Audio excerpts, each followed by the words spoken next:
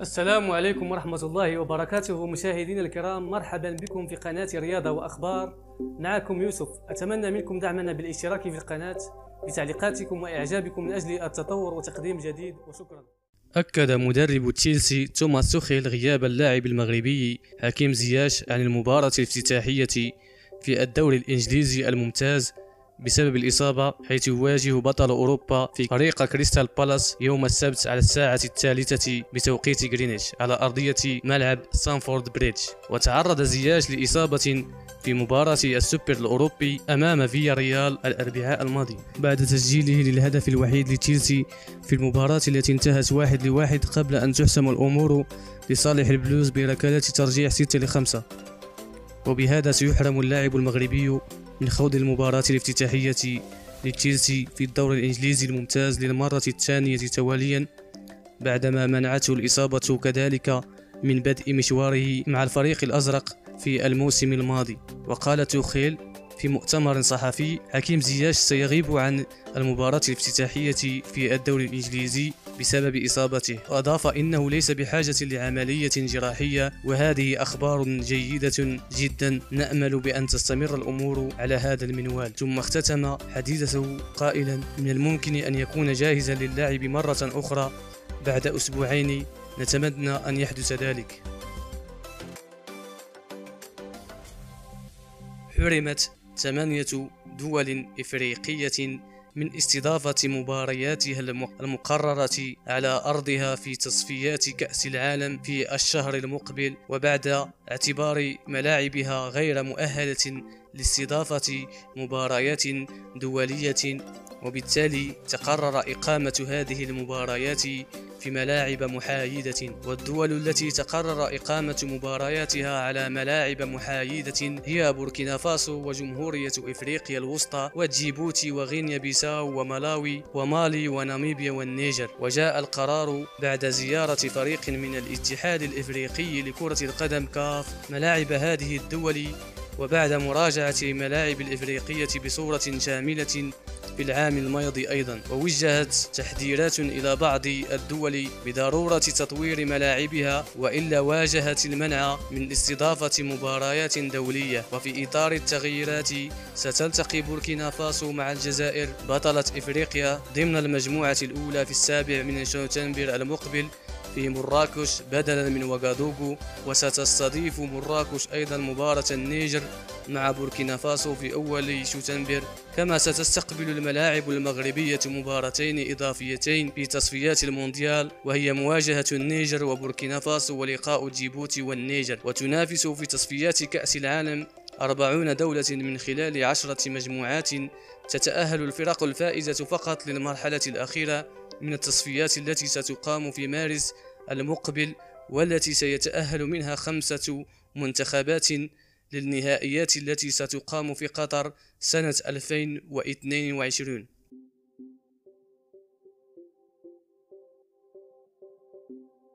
رفضت إدارة نادي رين الفرنسي لكرة القدم فكرة التخلي عن الدولي المغربي نايف أكرد خلال فترة الانتقالات الصيفية الحالية رغم إصرار ويستهام على التعاقد معه وأكدت تقارير إعلامية أن ويستهام قام برفع قيمة العرض المقدم لنادي رين إلى 20 مليون يورو وذلك بإصرار من مدرب النادي الإنجليزي للتعاقد مع اللاعب. هذا الصيف غير أن إدارة رين ترفض التخلي عنه. وتألق نايف أكرد في الملاعب الفرنسية طوال المواسم الماضية سواء مع ناديه السابق ديجون أو الحالي رين. ما جعل العديد من الأندية تهتم بالتعاقد معه. أبرزها ويستهام في انتظار أن تحدد الأيام القليلة المقبلة وجهة اللاعب علما أن صدرين متشبت بدوره به.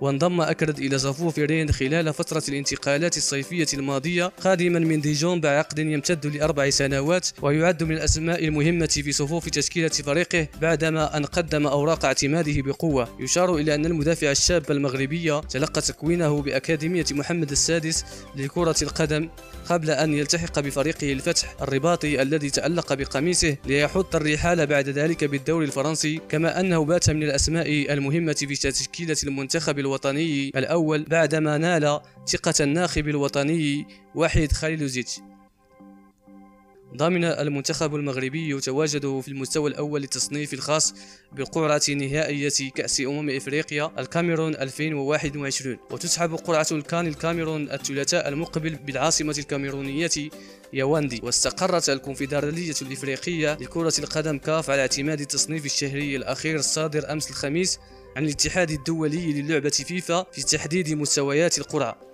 وحل أسود الأطلس في المركز الثاني وثلاثون عالميا والرابع إفريقيا في تصنيف الفيفا. وبالتالي فإنهم ضمنوا التواجد في المستوى الأول لتصفيات الكأس القارية إلى جانب منتخبات الكاميرون البلد المنظم والجزائر وتونس والسنغال ثم نيجيريا. وضم المستوى الثاني المنتخب المصري والغاني والإيفواري بالإضافة إلى البركينابي والغيني والمالي. وتشكل ثالث المستويات من منتخبات موريتانيا والغابون والرأس الأخضر ثم غينيا بيساو وزيمبابوي وسيراليون. أما المستوى الرابع والأخير فيضم السودان وجزر القمر وغام كولومبيا وغينيا الاستوائية وملاوي وإثيوبيا. يحتضن الملعب الكبير لمراكش يوم السابع من شتنبر المقبل مباراة المنتخب الجزائري ضد نظيره البوركينابي برسم الجولة الثانية عن المجموعة الأولى للدور الثاني من تصفيات كأس العالم قطر 2022 وتم تغيير مكان إجراء هذا اللقاء بسبب تعليق الاتحاد الإفريقي لكرة القدم لملعب 4 أغسطس بوغادوغو لعدم المطابقة. وأعلن الاتحاد الجزائري لكرة القدم في بلاغ له عبر موقعه الرسمي أن الاتحاد الدولي لكرة القدم فيفا والاتحاد الإفريقي لكرة القدم كاف حدد رسميا مواعيد وملاعب الجولتين الأولى والثانية من التصفيات المؤهلة لكأس العالم فيفا قطر 2022 وتابع في البلاغ ذاته وعليه فإن لقاء الجزائر مع جيبوت لحساب الجولة من المجموعة الأولى لمنطقة إفريقيا سيقام في الثاني سبتمبر 2021 بملعب الشهيد مصطفى شاكر بالبوليدة فيما يلعب يلعب لقاء بوركينا فاسو يوم السابع من ذات الشهر بالملعب الكبير بمراكش بالمغرب. أجريت مساء يوم الجمعة مراسم قرعة مسابقة دوري أبطال إفريقيا لكرة القدم ومسابقات كأس الكونفدرالية الإفريقية. تعرفت للفرق الوطنية على خصومها في الأدوار الأولى ويواجه الوداد الرياضي المتأهل للمباراة التي ستجمع فريقي كيمسار ألغيني وقلوب الصنوبر الغاني فيما يواجه الرجاء الرياضي المتأهل من مباراة أسكو ديكارا الطوغولي وأوليرز الليبيري. وفي مسابقة الكاف يواجه فريق الجيش الملكي بالدور التمهيدي نظيره فابلز البنيني إذ تجرى مباراة الذهاب بالرباط. في 9 سبتمبر فيما مباراة الإياب ستقام أسبوعا بعد ذلك. وفي حال تجاوز الدور التمهيدي سيواجه الفريق العسكري في الدور التمهيدي المكرر فريق شبيبة القبائل الجزائري. فيما تم إعفاء فريق نهضة بركان من الدور التمهيدي الأول إذ سيواجه في الدور الموالي المتأهل من المباراة التي ستجمع بين بن قردان التونسي والشرطة النيجيري.